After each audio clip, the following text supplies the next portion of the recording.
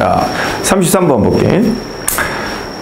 어, 좀 개념에 대한 얘기가 좀 나오는데, 자, 개념은 필수적인, 꼭 필요한, 중요한 거다. 인간 생존에. 자, 개념이 중요하다. 어, 그래서 우리는 그러나네, 그러나 우리는 조심해라. them이니까 저 컨셉트 개념들. 왜냐하면 개념은 이거를 열어준다.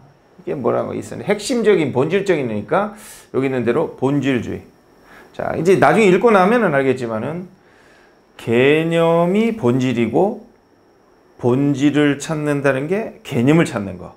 그래서 개념은 아주 중요하지만 조심해야 될 건 뭐냐면은 그 개념은 자꾸 본질을 찾으려고 하는 그런 성향을 갖게 해준다. 이렇게 출발하고 있어. 그리고 그 개념은 이렇다. 자, 이제 긍정적인 답일까 부정적인 답일까를 이제 먼저 생각을 해봐야 되는데 어떤 거는 긍정적, 어떤 건 부정적인데 이제 내용을 보고서 판단해 보자고. 자, 이 사람은 자, 책을 열었다, 폈다, 시작했다. 무지 이런 거를 펼쳤는데 자, 거기서 이제 이런 속담이 오래된 속담이 있었다는데 그게 뭐냐면은 어렵더라. 고양이 검은 고양이를 어두운 방에서 찾기는 그렇지 어두운데 고양이가 어두우니까 찾기 힘들다는 거지. 특히 고양이가 없는 때. 자, 이건 무슨 말이냐면은 이 고양이라는 건 개념이야. 고양이라는 건 개념이요. 개념이라는 거는 본질, 핵심이다. 이 고양이가 바로 개념이자 본질이지. 그런데 그 본질 개념도 없는데 자꾸 그 개념 본질을 찾는 거야. 자, 그렇게 이제 출발하고 있는 거지. 이 말은 아름답게 정리한다, 총 정리한다. 뭐냐면은 자꾸 핵심 본질을 찾는 거라. 개념을 찾고 핵심을 찾고 하는 이 말을 설명하는 게 이거다는 거지. 자꾸 어두운 방에서 있지도 않은 고양이를 찾는다. 자, 역사에서도 그런 예들이 있는데 과학자들, 이 멍청한 과학자들인데 찾았단데 요 단어가 결실 없이, 과실 없이, 결실 없이, 그러니까 아무런 성과 없이 찾았다는 거지. 그 핵심을. 자, 그래서 이렇게 보면은 여기서 계속 본질 핵심이 나오니까 여기에도 그런 말들이 꼭 들어가겠다. 이렇게 좀 생각해 줘야 되겠고, 답은. 어, 그래서 핵심을 아무런 결론 없이 찾았다. 왜냐하면 그들이 사용한 건 잘못된 개념을 썼다는 거지.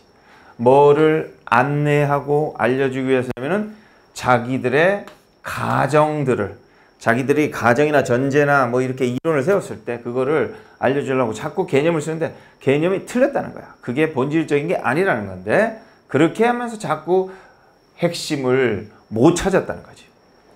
자, 또 이 사람은 어떤 예시를 주냐면은 이게 바로 또 똑같은 말이네. 이것도 뭐다?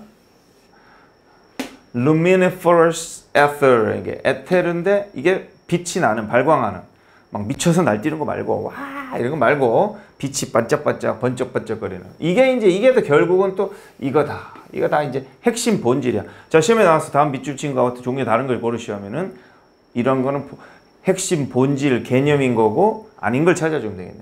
그래서 이거를 예를 들었는데 얘는 뭐냐면 아주 신비한 물질인데 어, 뭐라고 생각되었다 하니까 이렇게 써야겠네, 수동으로. 우주를 채워줄 수 있다. 뭐 하려고?